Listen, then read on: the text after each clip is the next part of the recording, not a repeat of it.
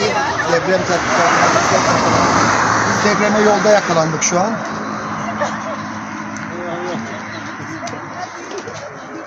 Şu an yolunda yakalandık depreme.